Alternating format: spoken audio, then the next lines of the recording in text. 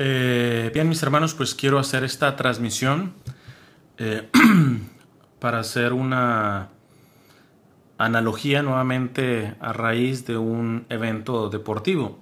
ya ven que he hecho algunas eh, analogías, aplicaciones a nivel espiritual, tomando el recurso del deporte, más específicamente del fútbol. primero es interesante porque estaba checando eh, la última este, referencia que hice sobre la selección mexicana, analogía a nivel espiritual. y estamos a un año de aquel partido que México perdió en la Copa América 7-0 este, contra... Eh, no me acuerdo yo ahorita si... No, creo que déjame checar. Porque no me acuerdo si fue 7-0 o 7-1. No, 7-0, exacto. De hecho, les voy a dejar el enlace de aquella reflexión que hice sobre la enseñanza espiritual sobre esa goleada que tuvo México en la Copa América contra Chile. Estamos a un año, a un año. Entonces, pero bueno, vamos a hacer la, analogía, una reflexión espiritual tomando el acontecimiento del reciente partido de México contra Nueva Zelanda. Primero, el contexto básico del, del partido, para después pasar a las aplicaciones espirituales es eh, México terminó ganando dos goles a uno a Nueva Zelanda en la Copa Confederaciones. Este, si tuviera que decir una primera frase al respecto del partido es, si México juega así, teniendo en cuenta que Chile lo goleó hace un año, si México en vez de estar jugando con Nueva Zelanda estuviera jugando con Chile de esta manera, Chile no le mete 7, le mete 14. Muy mal, muy mal eh, que jugó. En el segundo tiempo, digo, como saben, yo líbreme Dios ya de aventarme un partido dos horas. No, no, no, no. lo, veía por ratos, he visto resúmenes y todo esto. Y, al fin y al cabo no voy a hacer un comentario eh, principalmente deportivo. ¿ah? Lo que me interesa es hacer una analogía a nivel espiritual. Y lo evidente es de que el primer tiempo fue desastroso de México, pero desastroso. El segundo, más que por estrategia, fue por coraje de algunos cojugadores eh, que evidentemente tienen más calidad que el grupo de Nueva Zelanda. Y eso fue lo que les alcanzó a, librarlas, de empatarlos y después ganar. Entonces, eh, pero bueno, vamos ahora sí, ese es el contexto meramente deportivo, vamos al aspecto de la enseñanza espiritual de lo que podemos sacar de aquí. Eh, la primera cosa es eh, que podemos aprender eh, es de no podemos relajarnos o creer que vamos a vivir de las rentas. No podemos vivir de las rentas. México creyó que con haberle hecho un buen partido a Portugal, eh, a Nueva Zelanda en, años atrás lo ha goleado porque realmente es una selección frágil. Entonces, em, pues creyó que podía vivir de aquellas goleadas que le puso a, Nueva Zelanda en el pasado o que podía sentirse muy seguro por haberle hecho un partido, eh, pues yo diría bastante digno a Portugal, que es, vamos, el campeón de Europa. Entonces, pero esto en la vida espiritual, si lo traspasamos, no se puede vivir de las rentas. Voy a poner ejemplos. En una ocasión, me, eh, hablando con un seminarista, bueno, más que hablando, viendo lo que comentaba ese seminarista, ex seminarista, perdón, eh, había estado en el seminario, este muchacho, y ya no estaba yendo a veces ni a misa del domingo. A mí me sonó a broma, chance y lo dijo como broma, pero yo lo vi muy serio esa vez, eso fue pasado hace bastantes años. Este seminarista cuando se le preguntaba que por qué ya no lleva a veces ni siquiera misa del domingo, él dijo que el, todo el tiempo que estuvo en el seminario, dice, este, pues fue todos los días. O sea, como, como queriendo decir, mira, tengo ya bastante en bodega por un, no me acuerdo cuántos años tuvo, uno, dos años, lo que, lo que haya estado en el seminario, estar yendo a misa todos los días, pues ahora me puedo relajar finalmente y tengo mi guardadito, tengo mi renta, me puedo vivir de la renta, de lo conseguido en el seminario.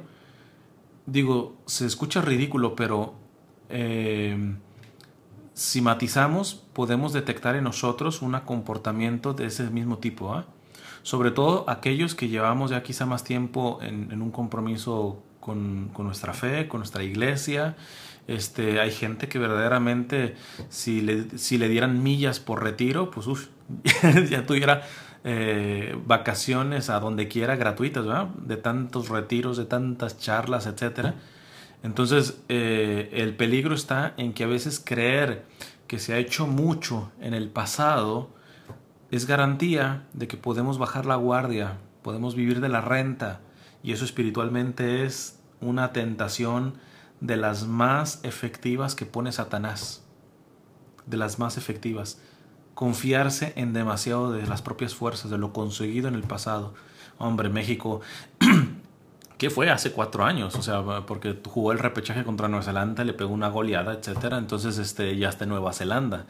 Entonces, este, eh, eh, le viene eh, de hacer un partido bastante digno al campeón de Europa, Portugal, pues ahora se aligeró, menospreció al rival, quiso vivir de, o quiso ganar de las rentas del pasado y no alcanza, en la vida espiritual es igual, en la vida espiritual es igual. Podrás haber vencido batallas tremendas, tremendas, tremendas. Podrás haberte formado y alimentado tremendamente. No puedes vivir de la renta porque te vas a sacar un fiasco que por nada le sacan el partido a México, este país que quizá de todos los que están compitiendo es el más frágil en las confederaciones. Mira, si quieres alguna frase, te podría decir, vencer o mantenerse en grandes batallas, o sea, que hayas vencido en una super batalla a nivel espiritual sobre todo, o, te mantuviste, como en el caso de, México contra Portugal, no le ganó, pero vamos, este, empataron y en el último minuto como tal, o sea, pelearon y muy bien. Y hay otras batallas que México le ha ganado a potencias, ¿verdad? que es una cosa que siempre pasa que en la selección mexicana, este, con las grandes potencias das todo y les haces un partidazo. Si, si, que muchas veces le terminas ganando esa gran potencia o le empatan o si llegan a perder tú dices wow perdió un partidazo y con los, con los, con los equipos entre comillas pequeños generalmente la selección mexicana se cae, porque por una displicencia, por una arrogancia, creer que como ya le ganaste a ciertas potencias o empataste eh, a grandes potencias, pues mira, Nueva Zelanda, ¿qué es Nueva Zelanda? Y así nos hemos sacado fiascos en el fútbol. Pues en lo mismo a nivel espiritual. Vencer, haber vencido grandes batallas a nivel espiritual o mantenerte, que no te hayan tirado, no es garantía de que no pierdas las pequeñas batallas. Parecía ridículo, parecería ridículo, parecía ilógico. Hombre, ¿cómo si has ganado grandes batallas o mínimo no te han tirado? ¿Cómo va a ser posible que puedas perder las pequeñas batallas? Pues se puede. Se puede. Eh, voy a poner un ejemplo que una vez me dio un director espiritual muy santo que tuve. Él me decía, que, por ejemplo, después de una misión, de estar yo fuera misionando y, evangelizando y dando charlas sin parar eh, un mes o a veces hasta más de un mes, eh, porque a veces me, he tenido misión así de que yo salgo y paso por varios estados y no paro y no paro y no paro y no paro, y en donde verdaderamente uno este, a veces hasta uno se le olvida comer y, este, y, saca como que fuerzas, energías ante las tentaciones a nivel espiritual, problemas a nivel climático, etc. O sea, está en una batalla.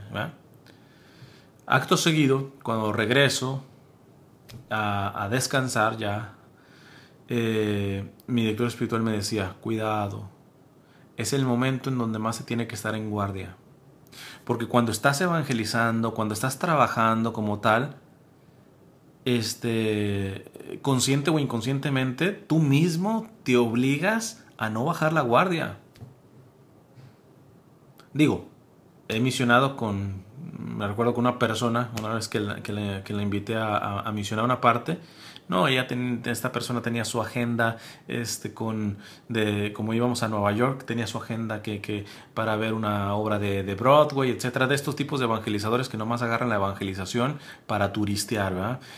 Y, como me conocen, yo no turisteo, ¿verdad? O sea, cuando yo descanso, descanso de algunas cuestiones naturales, etcétera, pero yo no, o sea, a mí si, me, si en una misión me rellenan todos los días dos o tres charlas por día, lo que sea, yo estoy para gastarme por el Evangelio, por Jesús y esta otra persona, este evangelizador, eh, evangelizadora, entre comillas, pues no, traía otra agenda, etcétera, y inclusive tuvimos una confrontación fuerte, ¿verdad? Porque simplemente no íbamos en la misma sintonía, ¿verdad? Entonces, este, pues estas personas que toman la evangelización para turistear, para, para descansar, etcétera, pues esos me imagino que sí en plena misión bajarán la guardia, pero los que van a evangelizar, los que no van a hacer turismo, los que realmente vienen a gastarse, a darse como tal, pues eso psicológicamente tu cuerpo se pone. O sea, ¿cuántas veces yo no me he enfermado descansando? Y, en, y, en, pleno jaque de misiones, etcétera, con fríos, con nevadas, por ejemplo, que me han tocado en otros estados del norte, todo eso, y la libra es, como, como que si tu cuerpo se pusiera el chip y dijera, aquí tengo que entregarme, tengo que darlo todo. Pues bien, mi director espiritual me decía, cuando regresaba y, ya descansaba, me decía, cuidado, las mayores tentaciones del demonio viene cuando no tienes un competidor grande, cuando no hay grandes tentaciones. hombre, si ya estás descansando, no tienes tanto ajetreo, etcétera, eh, contradicciones, eh, es donde el demonio más astutamente va a pegar. ¿De qué manera? Él me decía, por ejemplo, necesitas descansar, desde luego necesitas descansar, pero, este, pero no vayas a confundir descanso con pereza. Se descansa teniendo una actividad diferente, no teniendo un desorden en tu agenda, ya no sabes qué hacer, etcétera, porque la pereza, la pereza es mala consejera. La mayoría, les digo, y por propia experiencia, la mayoría de tentaciones en los pecados que sean, por lo general entraron por la puerta de la pereza, de la displicencia, de la negligencia, de bajar la guardia. Descansar no es bajar la guardia. Por eso, y el demonio ahí tienta, ¿va? Y después ya uno cae en, algún pecado ya mortal o fuerte y todo eso, y, y si uno examina, uno dice, no fue realmente lo que me atacó, sino cómo yo me venía aligerando, bajando la guardia en este tiempo de descanso, que ciertamente yo no veía grandes riesgos a mi vida espiritual, pero bajé la guardia, bajé la guardia. Esto va un poco también con la doctrina de la, de la iglesia respecto, por ejemplo, al pecado mortal y al pecado venial. ¿verdad? El pecado mortal este, mata la gracia en ti, por eso una persona que muere en pecado mortal se condena. Este, eh, el pecado venial no, no mata la gracia, sino la debilita. Pero ojo, ojo, que quien se acostumbra a decir, bueno, pues un pecado venial no es mortal, etcétera, baja la guardia. Y déjenme decirle que la inmensa mayoría de los pecados mortales no son más que resultado de un alma que se acostumbró a pecar venialmente. Por eso hay una imagen, este, creo que la decía San Agustín, me parece. Si no es San Agustín, el punto es de que es una gran enseñanza. Eh, decían que el, el pecado mortal es como clavar a Cristo. Imagínate fuerte. El pecado venial no lo clavas, nada más le escupes. o sea, para alguien que ama a Cristo es que ni escupirle, ni escupirle. Ya escupirle suena fuerte. Pues para muchos podemos bajar la guardia. Mira, finalmente no estoy pecando mortalmente, es pecado venial, etc. No te hagas tonto porque la displicencia, el bajar la guardia ante los pecados veniales que son menos graves como tal, pues van a traer pecados mortales tarde o temprano. ¿Qué fue lo que pasó con México? Entonces, bajó la guardia, se creyó como ya había ganado sus grandes batallas contra eh, Portugal, como había goleado en el pasado a, Nueva Zelanda, vienen con displicencia y cuidado, cuidado, te la repito la frase por si te, te, te ayuda. Este, vencer o mantenerse en grandes batallas, haber vencido en grandes batallas o mantenido de que no te hayan tirado, no es garantía de que no se perderán las pequeñas batallas. En la vida espiritual se puede y se debe inclusive descansar, pero esto no es igual a pereza, esto no es igual a negligencia, esto no es igual a desorden, a desorganización. No. Por eso el hecho del descanso tiene que ser, inclusive voy a, eh, tratar de hacer un, un, video después sobre las maneras de poder inclusive vacacionar un católico. Por, yo creo que un verdadero católico revoluciona la manera de irse de vacaciones, revoluciona la manera de descansar. Vencer o mantenerse en grandes batallas no es garantía de que no se perderán las pequeñas batallas y por nada, por nada pierde México o por nada le empatan. Entonces, eh, esa es una primera aplicación. Eh, ah, déjenme agregar una cosa más a esto. Eh, en la iglesia hay lo que se llama la ascesis, ¿verdad? que es básicamente ese trabajo a nivel espiritual, ¿va? Como un gimnasio a nivel espiritual. Es lo que uno debe de poner. Uno no puede quedarse en simplemente procedimientos ascéticos de tu propio esfuerzo, de virtud, etcétera, porque podríamos caer este, en, en ciertas herejías, ¿va? de menospreciar la gracia, todo depende de ti. Es como este tipo de psicologías que te dicen, este, tú, tú, tú proponte, di que tienes éxito, pon tu, todo lo que está de ti y, no te menciona nunca la gracia. Entonces, eh, tenemos que tener ascesis, trabajo espiritual ordenado, un entrenamiento literalmente espiritual, pero siempre abiertos al Espíritu Santo, siempre abiertos al Espíritu Santo. ¿ah? porque estas dos cosas son los que te libran de bajar la guardia, este, no solamente en los momentos de batalla, sino en las pequeñas batallas en donde tú crees que la vas a pasar facilita, porque has peleado grandes batallas. Este, voy a poner un ejemplo. Eh, me disculparán que lo ponga conmigo. ¿ah? Digo, no seré ejemplo de, nadie, pero quizá les pueda ayudar a, alguien. Em, yo siempre cuando me, eh, me, piden alguna charla, alguna conferencia, yo siempre este, preparo. Y cuando no preparo, este, siempre hay un cargo de conciencia mío. ¿Por qué siempre preparo? Porque yo sé que quizá ya tengo una formación en donde yo puedo improvisar. E ir a una comunidad, improvisar una, una, una, una charla, una conferencia. Como ya tengo bastante bagaje, pero eso no me parece responsable. Ese es irme solamente al Espíritu Santo. De hecho, muchos evangelizadores dicen eso. ¿ah? No, no, es que, es que yo me invitan, etcétera, y lo que, lo que inspira el Espíritu Santo. Y entonces improvisan ahí, va. No puede ser así. Les digo, estas dos cosas tienen que ir unidas ascesis entrenamiento, trabajo espiritual.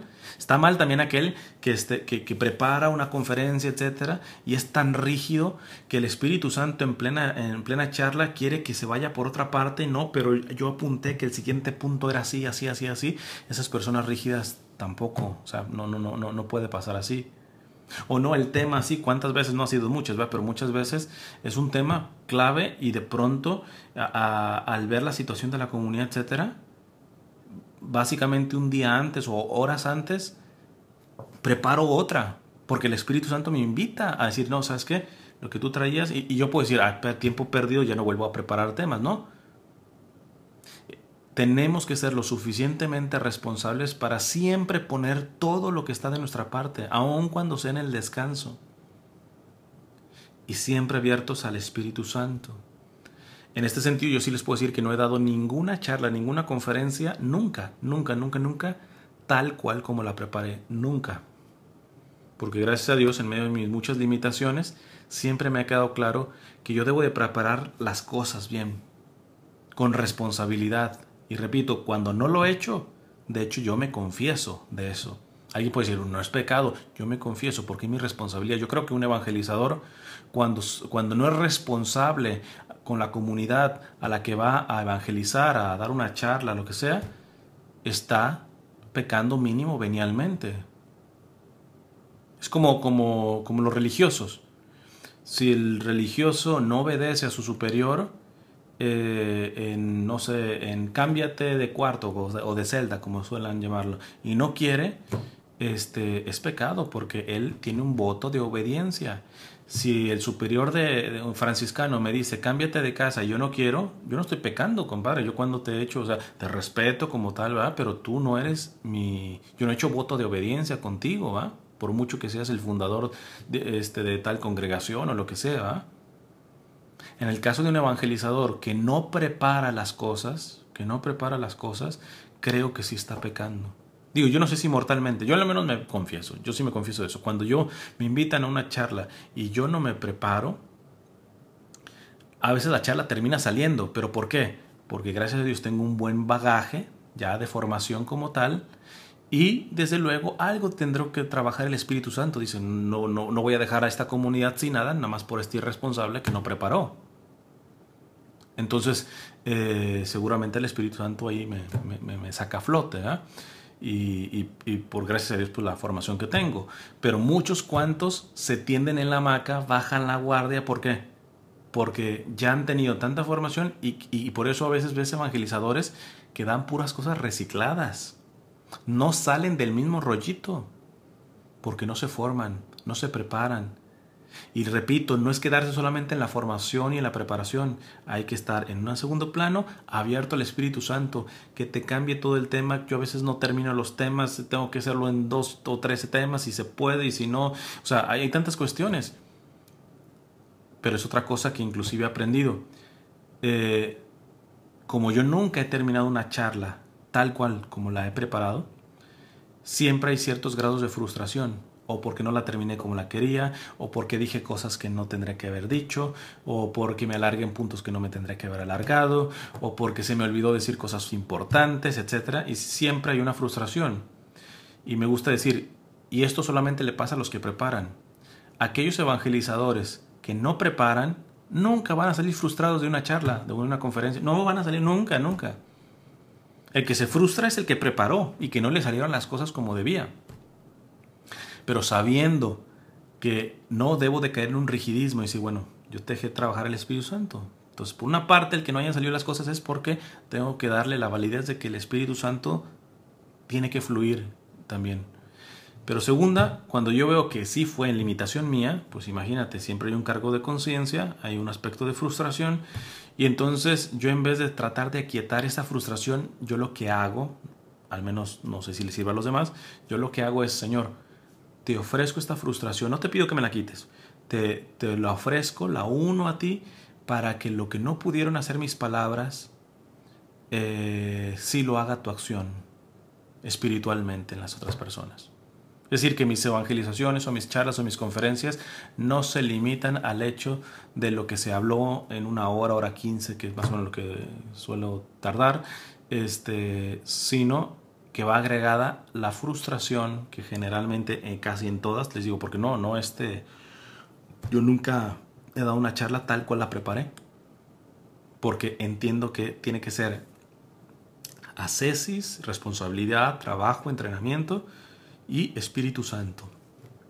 Cuando no se hacen estas dos cosas entonces eh, es una irresponsabilidad eh, no preparar y decir bueno pues el Espíritu Santo ah, me va a llevar o creerse que está muy firme, muy firme en el aspecto de, la preparación del tema y todo eso y ser tan rígido que no fluye el Espíritu Santo como tal.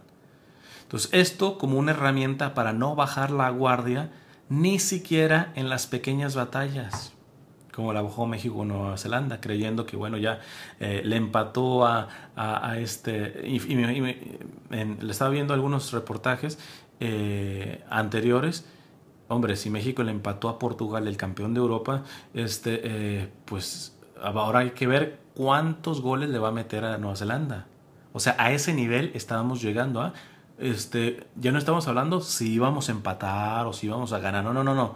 A ver de cuánto va a ser la goleada.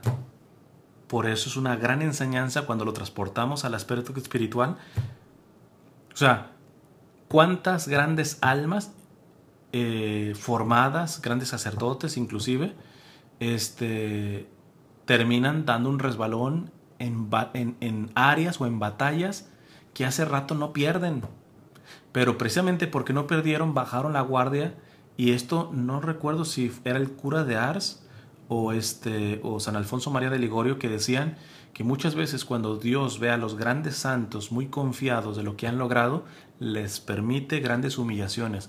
Y una gran humillación para alguien que está preparado, que ha tenido batallas y que ha ganado a nivel espiritual, etcétera, es resbalarse no en una gran batalla, sino una pequeñita en la, creí, en la que creías que ibas a ganar. ¡Pum! Te das un resbalón y Dios permite eso para que no se te suban los humos a la cabeza, ¿va? Segunda enseñanza. Vamos a ver, también no quiero ir con el tiempo, bueno, vamos a casi media hora. Segunda enseñanza con esto o analogía que vamos a hacer de lo del partido. Este, esto ya lo venía diciendo cuando vean la charla que hice eh, con la analogía de la goleada esta de que le pegó a Chile hace un año a México. Eh, critiqué mucho este, este, esta forma de trabajar del actual entrenador de México, Osorio, que es las rotaciones. ¿Qué son las rotaciones? Pues literalmente él nunca repite la alineación. Hace un nuevo de jugadores partido tras partido. y este y pues yo, yo sí creo que ha tenido bastante suerte, ¿verdad? porque México va muy bien en las eliminatorias, está prácticamente clasificado al Mundial, etc. Pero yo creo que, que, es mucho por la calidad de los jugadores, no tanto por el sistema del entrenador. Y, segundo, porque en, muchos, en muchas situaciones ha tenido mucha suerte México. Entonces, eh, eh, en el partido de hoy contra Nueva Zelanda, eh, cambió, si no mal recuerdo, ocho jugadores del partido, de los jugadores que jugaron contra Portugal, la alineación de Portugal a la alineación de, contra Nueva Zelanda fue una diferencia de 8 jugadores. Evidentemente, les repito, estas, estas, estas reflexiones le van a hacer más beneficio a aquel que sabe más de fútbol y todo este tipo de cosas, porque las analogías las va a entender más fácil. Así que si alguien no entiende, pues ahí discúlpeme. Este, aquellos que entienden cuestiones de fútbol, este, ustedes saben que hay una, tiene que haber una disciplina táctica. Hay grandes jugadores que no terminan saliendo a flote porque el entrenador los pone en ciertas posiciones en las cuales ellos no están capacitados para eso, no se ven cómodos o se ven reducidos en sus capacidades y talentos, este, o porque les manda a hacer cuestiones en el campo que pues evidentemente tienen que obedecer los jugadores, para eso es el entrenador. Entonces muchas veces este, no es que el jugador sea malo, sino que el entrenador lo desperdicia, dado que el jugador tiene que tener una disciplina táctica, porque si, no empieza a obedecer al, entrenador, pues simplemente el entrenador no lo va a poner a jugar. Entonces se ven obligados los jugadores y a veces muchos jugadores, los que, los que hemos jugado fútbol, nos damos cuenta de que eh, de que el entrenador la está embarrando, la está cajeteando, o sea, te da ganas de decirle, no va por aquí, pues tienes que obedecer y bueno, listo. Entonces, este, en el, en el partido de hoy me parece que estas rotaciones, de las cuales yo no estoy de acuerdo a nivel deportivo, y ahora que lo voy a traspasar a nivel espiritual, tampoco mucho menos, es eh, terminó ridiculizando a los jugadores. Terminó, o sea, el primer tiempo contra Nueva Zelanda, les digo, los pedazos que vi, es que la verdad era un fiasco, un fiasco. Por eso les digo, hace un año, exactamente hace un año, este, eh, mm, Chile le metió 7-0 a México en la Copa América. Si México jugara así contra Chile, que también está jugando la Confederaciones, si juega así contra Chile, Chile no le mete 7, le mete 14. 14. Entonces, estos, aspectos de, rotaciones, este eh, a nivel deportivo simplemente no va. ¿De qué manera podemos transportar esto a, nivel espiritual? Eh, en la vida espiritual se pueden hacer ciertas rotaciones, pero no en lo esencial. Como en el fútbol, mira que, que como Nueva Zelanda no es un gran equipo a comparación de Portugal, este, y después viene Rusia, que es, un, es, menor que, que, Portugal, pero más que Nueva Zelanda. Uno podría entender, bueno, pues contra Nueva Zelanda va a descansar algunos jugadores, pero hombre, ocho, o sea, casi casi cambió de equipo completo. este, en, en, el fútbol siempre tiene que haber una columna vertebral que por lo general no tiene que ser necesariamente así, ¿verdad? pero es básicamente vertical. No cambies a tu portero, ten un portero fijo. En los superpartidos y en los partidos más, más sencillitos, siempre un portero fijo como tal. Este, em, en, bueno, en los amistosos yo creo que podría cambiarse, pero en, competiciones, sean partidos fuertes o sencillos, tú sabes, un buen entrenador sabe que no debes de mover una mínima columna vertebral en un equipo. sabes que no tienes que mover tu portero, sabes que no puedes mover un central, sabes que no puedes mover un contención y sabes que no puedes mover un delantero. O sea, tienes que tener una columna vertebral. De ahí en más, mira, pues te puede dar lujo de ciertos cambiar, ¿verdad? Pero esta columna vertebral no puede cambiar. Cuando México en este sentido hace ocho cambios, o sea, prácticamente cambió de equipo terminaron exhibiéndose, o sea, las rotaciones terminaron exhibiendo a los jugadores porque son buenos jugadores. De hecho, mi percepción es de que México ganó más por calidad de los jugadores que por, este, por el planteamiento del entrenador. Eh, ¿De qué manera esto se aplica a la, a la parte espiritual? La vida espiritual también tiene que tener una columna vertebral que ya sea en grandes batallas, en misiones que estés o estés descansando, en donde corres menos peligro. Este, eh, no puede, el católico no puede mover su columna vertebral, no puede moverla. No puede confiarse de eso. No, pues es que no es una gran batalla, es sencillito, etc. No puedes moverla. Porque terminarás exhibiéndote en lo que has conseguido a nivel espiritual. Por tu esfuerzo y por la gracia de Dios, claro está. ¿Cuál es esa, esa, columna vertebral que yo les diría? Eh, yo les pondría una palabra para que se la memoricen. Eh, sola, tal cual, así, sola. Apréndanse esa, palabrita, sola, y con eso se van a aprender lo que es la columna vertebral de la vida espiritual, que nunca se debe de modificar Puedes rotar en otras cosas, pero en la columna vertebral de la vida espiritual no puedes mover, no puedes hacer cambios. No puedes quitar y poner otra cosa, no, no la puedes quitar. Porque si no vas a terminar como México hizo, que no tenía ni columna vertebral, etcétera, y, bueno, eso fue, como decían los, eh, los cubanos, un arroz con mango, y, y por nada les cuesta el partido. ¿ah? ¿Cuál es la columna vertebral que en la vida espiritual no se puede rotar, siempre tiene que estar fija. Sola. S. Sacramentos. O. Oración. L. Lectura de la Sagrada Escritura eh, y del Magisterio. Y eh, A. Apostolado. Estas cuatro cosas estas cuatro cosas no se pueden mover. Y si las rotas y las muevas porque te pones creativo con tu vida espiritual, pues vas a terminar en un fiasco y casi embarrándola como la está embarrando México por haber hecho, o sea, yo entiendo, este, le quieres dar descanso a los que jugaron contra Portugal, porque más bien los quieres guardar contra Rusia. Nueva Zelanda no es el gran equipo. Pues mira, ni sin ser el gran equipo, ya te estaban ganando, compadre porque cambió y no había ni columna vertebral ahí en, el partido de este, en el equipo de México de hoy contra Nueva Zelanda. E iban perdiendo contra Nueva Zelanda. ¿eh? Entonces, eh, en la vida espiritual no puedes quitar estas partes.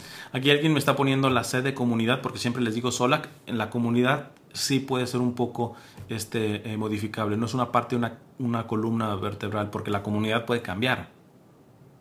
O sea, este, o sea, la palabra completa sería solac, así como le he dicho en otras charlas.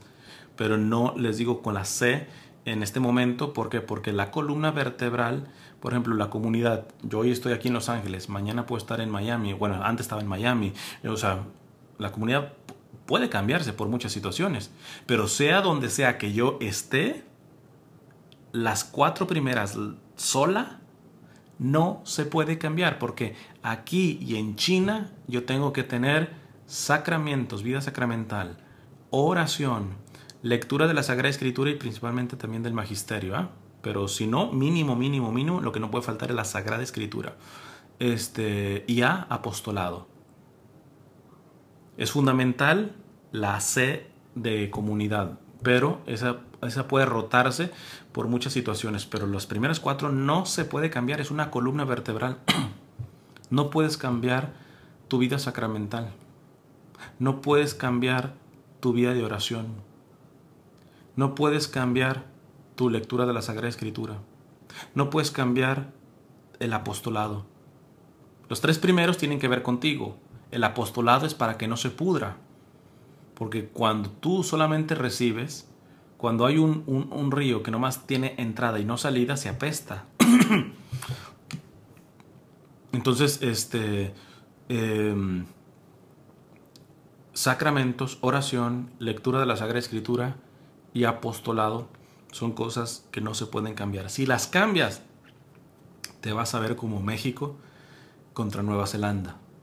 Aún en las pequeñas batallas, aún contra los pequeños equipos que te quieren ganar, te van a hacer sudar. te van a porque eso no se quita. Eso, eso no se rota, usando el término que hace el entrenador de México, patético, ah, esto de rotaciones. ¿ah? En la vida espiritual no puedes hacer rotaciones. Puedes hacer rotaciones, por ejemplo, de la lectura espiritual. Listo, no hay problema. Hoy estoy leyendo al cardenal este, Robert Sara, mañana voy a estar leyendo pues algún doctor de la iglesia, etcétera. En eso, dale, pues.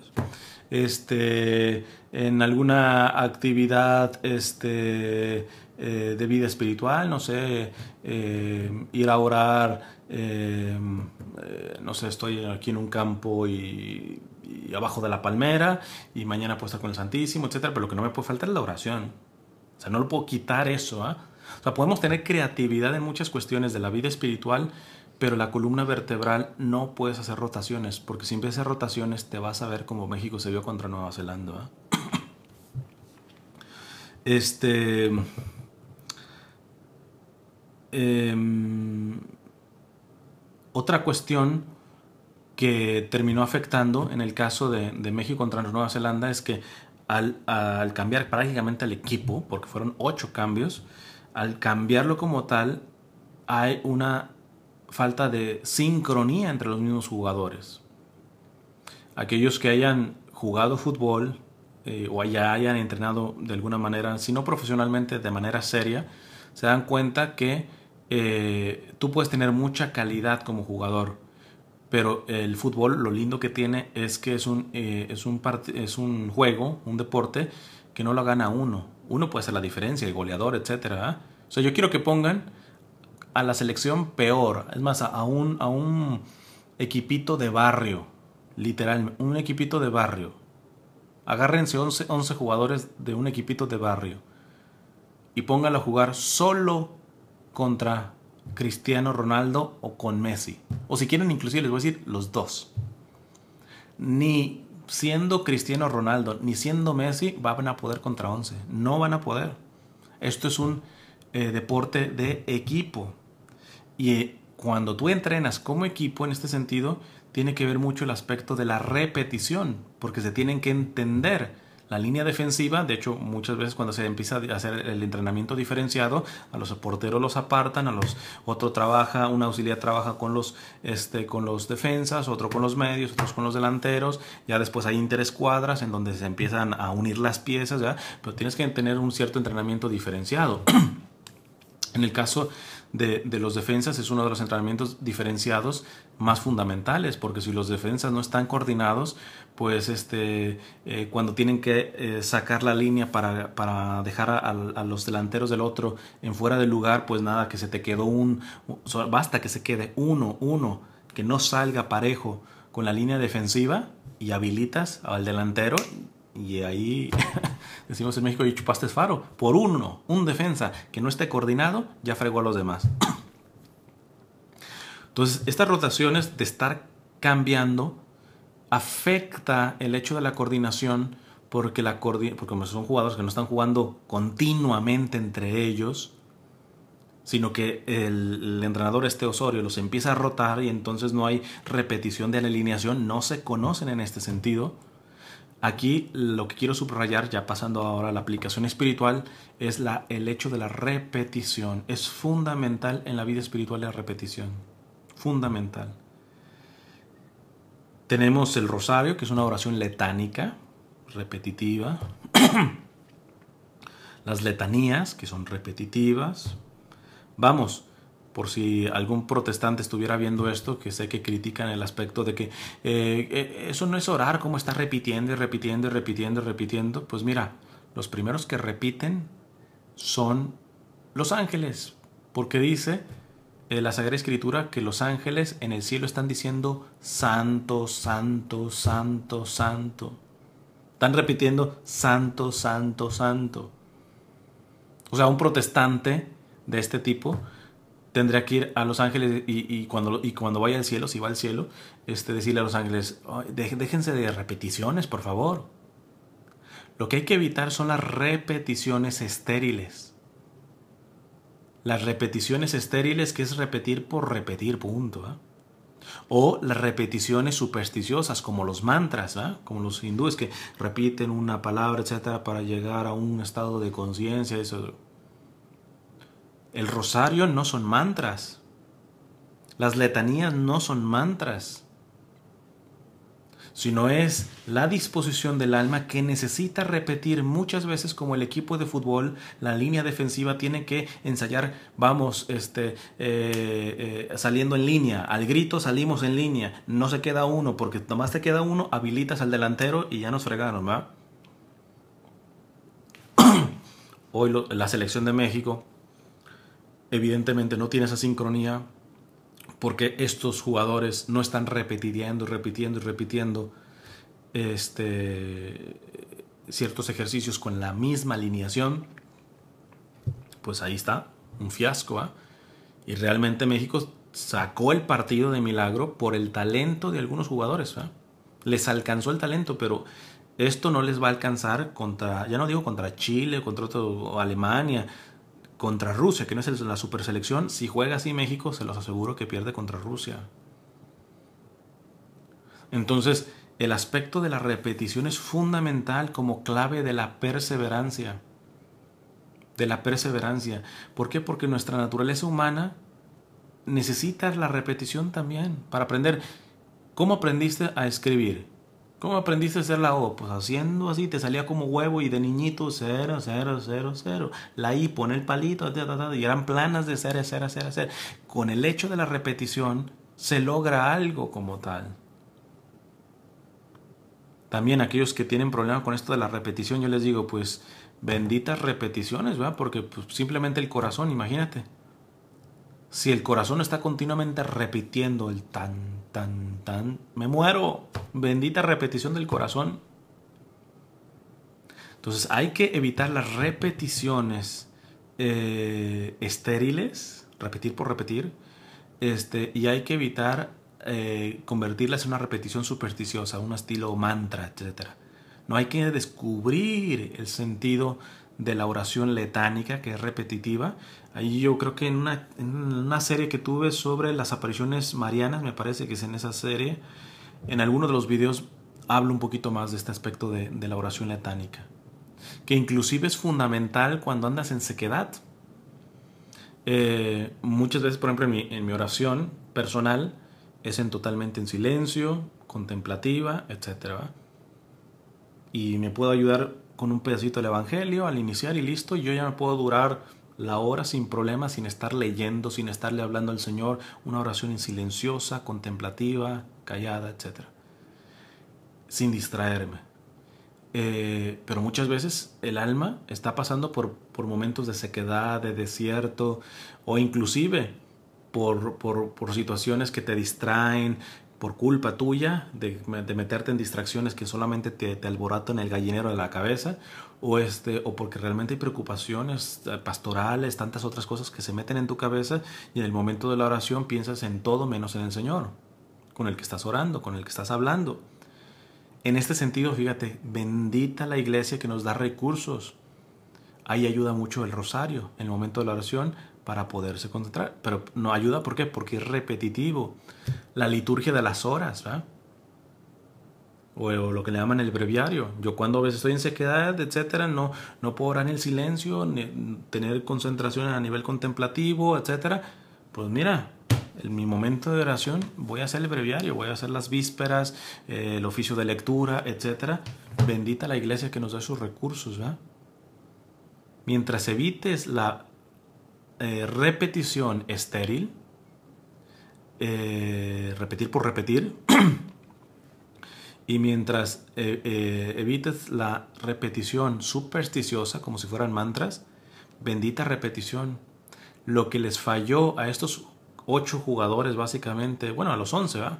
este, que jugaron hoy en México es que como no están coordinados, porque no han estado trabajando bajo esa alineación, repetición tras repetición tras repetición, pues están, estaban descoordinados y aunque son muy buenos jugadores, pues eh, las rotaciones de este entrenador terminaron evidenciándolos, ridiculizándolos, haciéndolos ver como si fueran malos jugadores. Porque no hay ese trabajo. ¿eh? Ok, ya te voy a terminar, vamos a cerrar la hora. y la tercera enseñanza es a nivel de las rotaciones con aplicación grupal. La primera fue eh, el aspecto de estar confiado en vivir de las rentas a nivel espiritual. La segunda es con respecto a las rotaciones, cuando rotas tu columna vertebral, como este, este hombre, este entrenador que que, cambie, está muy bien que cambie jugadores, pero no puedes desarmar un juego. Prácticamente fue una selección la que jugó contra Portugal y otra contra Nueva Zelanda. Quitó su, una columna vertebral. Entonces, este. Eh, pero ahora voy a hacer una aplicación con las rotaciones a nivel grupal o eclesial, una aplicación ya más grupal. Eh, ¿Por qué este hombre, eh, este entrenador Osorio, hace rotaciones? Porque desde que lo hicieron seleccionador de México ha estado con estas cosas de no repetir este, alineación, cambia y cambia y cambia. Eh, los argumentos han dado muchos, que quiere darle oportunidades a todos. Eh, muchos dicen, bueno, es que sobre todo con una selección es lo más selecto de, de unos futbolistas de un país pues básicamente son estrellas, ¿va? Entonces el hecho de que tú convoques a ciertas estrellas, que inclusive son estrellas en su equipo de, liga, eh, y llegan a un, a un, juego, pero como ya hay una sobrepoblación de estrellas, pues muchas estrellas se van a quedar en la banca, entonces pues este pues es una manera de no romper el grupo, de no crear un clima de envidias, etcétera. Miren, ¿saben qué? Todos van a jugar, no hay problema, yo los nomás los voy a rotar, ¿verdad? Listo, voy a hacer rotaciones para que no se rompa el grupo, para estar bien con todos, o también para exponerlos en vitrina, ¿verdad? ¿Por qué? Porque yo personalmente creo que hay jugadores que a veces han sido convocados a la selección, en este caso de México, que no son de selección mexicana, no son pero ya sabemos cómo está el fútbol mexicano con promotores, etcétera, ¿va? Y entonces, pues evidentemente, dale al menos un, un, partido o medio tiempo a, este, a mi jugador en plena eh, Copa Confederaciones que le está viendo todo mundo ahora mismo para exponerlos, ¿va? O sea, no son cuestiones verdaderamente deportivas, sino son cuestiones de que no se me enfade uno en, que lo vaya a dejar en la banca o en que lo haya llevado a Rusia la Copa de Confederaciones y no haya jugado un solo minuto, etc. Miren, si esas rotaciones son por eso, en el lado humano parece bien que el, que, eh, que el entrenador piense en que no se sientan mal, que haya fraternidad, que haya amistad en esto. El problema es que ellos representan una selección mexicana como tal. No deben de estar particularizándose eh, los intereses. vale más el interés de que la selección mexicana juegue bien y gane como tal, a que si fulanito de tal este, necesita ponerse en la vitrina ahora que está en la Copa Confederaciones para agarrar mejor equipo en la siguiente draft o alguna cosa de estas. Mira, en los partidos amistosos rota lo que se te pegue la gana si quieres, ¿va? Yo no estaría tan de acuerdo, ¿ah? ni siquiera en los amistosos. Pero bueno, en los amistosos, adelante. Pero si tienes torneos profesionales, están jugando un torneo profesional como la Confederaciones, y darte el, eh, el lujo de rotar para que no se rompa el grupo, para que no se sienta aquel que vino desde, no sé, desde X liga y, pues no le di un solo minuto de juego, etc. El entrenador tiene que entender que no tiene que dar complacer a los jugadores. Y si hay un jugador caprichoso que no entiende que el entrenador tiene que poner una misma selección y hacer muy pocos cambios, etcétera, porque el objetivo es de que la selección, el representativo mexicano juegue bien y sobre todo gane y no exponerse como se exponen con este tipo de rotaciones. Si hay un jugador por muy estrella que sea que no entienda esto, no lo convocas, vas para afuera. Y es por eso que en muchas selecciones, no solamente en la mexicana, llega a haber jugadores que son unas totales, unas divas, ¿verdad? Que se sienten porque los llaman a la selección y no entran ni un solo minuto, etc. Mira, en los amistosos, rota lo que tú quieras. Pero tenemos que entender que hay objetivos grupales. Ahora ya lo traspaso a nivel religioso, a nivel espiritual. Hay intereses eclesiales ministeriales, congregacionales. No puede estar un dominico o un franciscano viendo, no, pues yo, yo, yo, yo, no, tú eres franciscano. Los franciscanos son una orden religiosa, hello. ¿Que nos vamos a enfocar en ti? No, hombre. Si no entiendes el aspecto comunitario de lo que implica ser franciscano como tal, el carisma franciscano, las decisiones comunitarias, pues ahuecándola a la compadre. Y así pónganle con ministerios, así pónganle inclusive con la misma iglesia. ¿ah? Con la misma iglesia. El Papa Benedicto XVI decía que en cosas no esenciales, ojo, ¿eh? no esenciales, muchas veces nosotros tendríamos que ceder para que no se fragmente la iglesia. O sea, en batallas a veces de católicos, de diócesis, o con obispos, o con sacerdotes, a veces los que están bien tienen que mejor ceder, ceder en cosas no esenciales. Ojo, ¿eh? en cosas no esenciales, todo sea para quietar un poco las aguas y no fragmentar la unidad. En las rotaciones que hace este entrenador lo que únicamente es que fragmenta. Los tendrá muy unidos en amistad, porque eso sí, yo sigo a varios jugadores en, en Instagram y todo eso y los ves súper riéndose y escuchando reggaetón y toda la cosa. Pues muy bien, que se la lleven muy bien ellos. Pero hoy, como selección, en el equipo, en el partido de hoy de Nueva Zelanda, no se ve trabajo en equipo. Y yo entiendo que parte es culpa de ellos, pero la inmensa culpa es del entrenador que no entiende que no son sus caprichos, que no son los caprichos de X jugador, que es la totalidad de lo que implica la selección mexicana. Pues igual a nivel espiritual, ¿cuántos eh, católicos, por muy que estén bien, a veces no terminan cediendo en cosas que tendrías que mejor por humildad ceder? Tú estás bien como tal, pero no expongamos en cosas no esenciales la unidad de la iglesia. La unidad de la iglesia. Digo, en algunas cosas sí, cásate con tu macho y ahí está terco, etc. Pero tiene que haber un discernimiento, tiene que haber un discernimiento. Eh, porque cuando tú haces rotaciones, por ejemplo, en un torneo profesional, pues ya vemos lo que pasó hace exactamente un año en México contra este en la Copa América. Se llevó una goleada de 7-0. Mira, si a México lo golea el mismo Chile en un partido amistoso, yo creo que ni se hace tanta faramaya en el medio de los de comunicación, en el mundo, etcétera, e inclusive los aficionados mexicanos vienen finalmente amistoso. Pero lo que dolió tanto fue el hecho de que fue en la Copa América y, no solamente Copa América, Copa América Centenario, en el centenario de la Copa América como tal, en un partido profesional, oficial como tal, que un, llega un equipo y te barra 7-0. Eso es no diferenciar los momentos, tiene que haber un discernimiento. Por eso la columna vertebral que les menciono ayuda a que no se pierda ese discernimiento. Voy a poner un ejemplo. En una diócesis, no voy a decir de cuál, el, obispo, inclusive el anterior obispo a él, también tenía esa misma práctica. No sé si hay otros obispos que tengan la misma práctica, que yo no estoy de acuerdo. A los recién ordenados los mandan, estos obispos lo mandaban a parroquias estables, financieramente estables, económicamente estables ya bien organizadas, etc. Pues bien, hubo en una ocasión yo, yo una misión muy pobre de inmigrantes como tal, este, eh, ni siquiera era parroquia, eh, para aquellos que no diferencian entre misión eh, como parroquia, la parroquia agarra un territorio, la misión agarra una necesidad.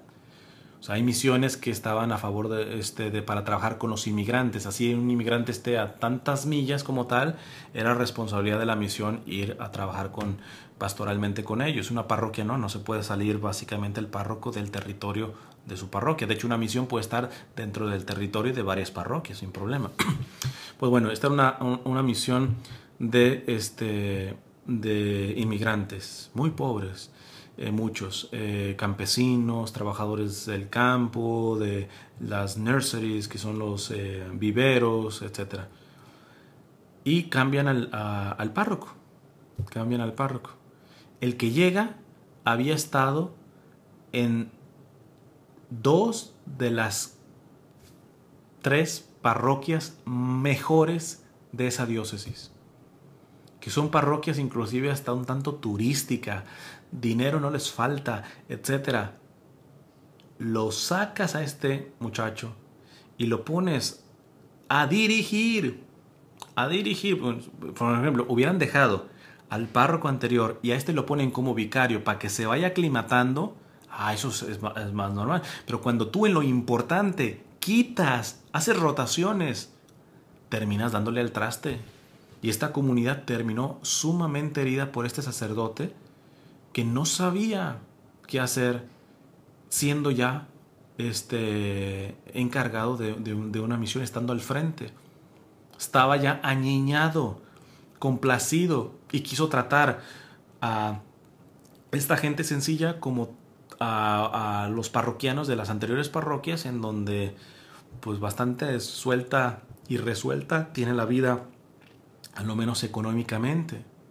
Se desfasó. Esto es un tipo de rotación mala que ha hecho en este caso en los obispos. ¿Por qué? Porque mira, este mínimo no lo pongas como párroco. Si lo vas a mover como tal, ve la experiencia que tiene. Con pura gente de caché, de, dedito eh, eh, eh, levantado. Y lo pones con la comunidad de las más pobres que tú tienes. no terminó aguantando este hombre. ¿eh? Pero esto fue una responsabilidad de quién? Del obispo. Del obispo. Pues igual, en los ministerios, en los grupos, se le debe dar chance a todo mundo, se le debe dar chance a todo mundo, etc. Pero en compromisos, en cuestiones fundamentales en donde se pone en riesgo el bien común del ministerio, de la congregación, tienen que estar los mejores. No se trata de que somos ah, racistas, exclusivistas, no tienen que estar los mejores. Los mejores no significan los más talentosos, pueden ser los que tienen más experiencia, los que van a dar más la cara, los que, lo que sea, ¿va? Pero no puedes improvisar en cuestiones fundamentales, no puedes improvisar. Como, regresándome al aspecto deportivo, si el entrenador de México quiere rotar alineaciones en los amistosos, yo no estoy del todo de acuerdo eh, que se haga siempre, pero bueno, rota lo que se te pegue la gana. Pero estás en un torneo, mira lo que te pasó en la Copa América hace un año. Te llevas una goleada de 7-0. 7-0. Identificas lo que implica. Es fútbol en, en las dos. Un partido amistoso y un torneo profesional.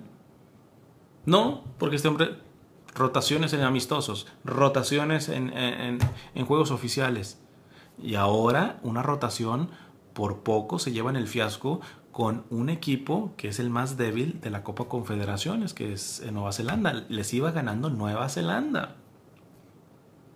Enseñanza a nivel espiritual en esto, sobre todo para los líderes, sepan ir, eh, como decía en, en una transmisión pasada, sepan ir pasando la estafeta, ir educando a otros, ya, a otros. No los avienten al ruedo así porque los queman totalmente. Tampoco ustedes asuman la responsabilidad y decir, no, no, no, no, yo siempre, siempre, siempre, siempre, y etcétera, no. Porque eso también les pasa a muchos entrenadores, que dejan a una alineación sí, sí o sí, inamovible, no, no, de vez en, cuando hay tres, puedes hacer tres cambios en un partido. Pues mira, no le des 90 minutos, pero ve cambiando a este muchacho que va saliendo de las fuerzas básicas, etcétera. Y si quieres sacas a un referente en el partido ya, en ciertos partidos que los tengas controlados, mételo, etcétera, para que vaya aclimatándose. Pero eso es una cosa. Otra cosa es que cada partido salgan 8, 10 jugadores diferentes a los que jugaron la pasado. Que, que no hay una alineación, no hay una columna vertebral, etcétera, le vas a pegar al traste. Y sobre todo esto es grave porque es un torneo profesional. Si es un amistoso, no hay problema. En la vida espiritual, en la vida de los ministerios, de las congregaciones religiosas, de decisiones inclusive a nivel jerárquico, tiene que haber eso. Tiene que haber eso. Y en este sentido, yo creo que hay muchos errores como el que puse. Se erró evidentemente del obispo, lo que hizo con este sacerdote que había estado solamente con parroquias, con gente de, de caché, de dedito parado, lo manda a la más pobre, no aguantó y le hizo un infierno a la gente. Pero también esto tiene que aprenderlo para nosotros, porque a veces nos convertimos nosotros y ya queremos evangelizar, ya queremos dar temas, espérate compadre, llévatela despacito, te vas a quemar. ¿Y cuántos se ofenden porque no les dan cargos, porque no los ponen? Estás comenzando, tranquilo. O sea, quéjense si realmente los líderes no se mueven y tienen como una dictadura. Ahí sí. Porque como les dije en una, transmisión, este, aquel dicho de, un Nobel de, la, de, literatura, este, los políticos como los pañales se deben de cambiar con frecuencia y por las mismas razones pues también en la iglesia. En la iglesia los líderes de ministerios, inclusive las congregaciones, por eso tiene que haber, hay elecciones entre los propios este, franciscanos, dominicos, para quien elegir los superiores, etc. Eso tiene que verlo, tiene que verlo. O sea, está mal cuando están todos anquilosados y de ahí nadie nos mueve a los líderes, no. Pero mira, si, si realmente hay cambios, hay oportunidad como tal, tenemos que también tener la humildad de decir, espérate, si ahorita no me están tomando en cuenta a mí o me toman en cuenta quizá el Señor me está poniendo en una etapa de ir aprendiendo. No, he visto tanta gente que se pone, no eres exclusivista, tienes este eh, preferencia nada más por eso, compadre, este tiene rato ya ha pasado por varias batallas, etcétera, es una columna vertebral de este ministerio. Tarde que temprano va a tener que pasar la estafeta, pero tú ya quieres la estafeta, compadre, date el tiempo. Entonces, de un lado y como del otro, tiene que ver con una autocrítica en este sentido. Y creo que ya me pasé de la hora, sí, ya, bueno, estamos exactamente en la hora. Así que este, eh, también las rotaciones a nivel grupal, a, nivel ministerial, etcétera, no sirven, a lo menos en cuestiones fundamentales, en decisiones importantes del bien común, en momentos claves. Tienen que estar los que saben.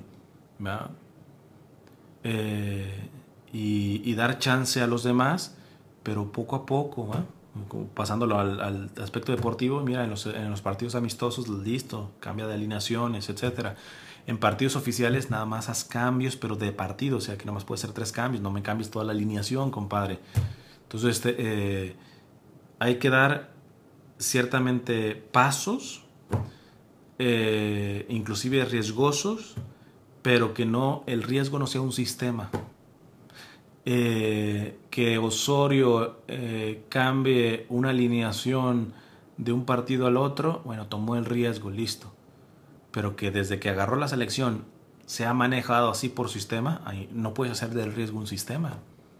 El cristiano en los ministerios, en cuestiones de apostolado, de tantas cuestiones que se hacen, de misiones, se tienen que tomar riesgos, sí, pero los riesgos no pueden ser un sistema. tiene que ver la preparación necesaria eh, a nivel espiritual, a, nivel formación, dependiendo de lo que se esté intentando hacer, ¿verdad? Porque si no, ahí tienen a Osorio que no ve la diferencia entre, eh, entre amistosos y un, y un, y un eh, torneo profesional y ya en un torneo profesional como, como en la Copa América el año pasado le embarraron 7-0 y ahora en este torneo profesional como es la Confederaciones por nada este, Nueva Zelanda le gana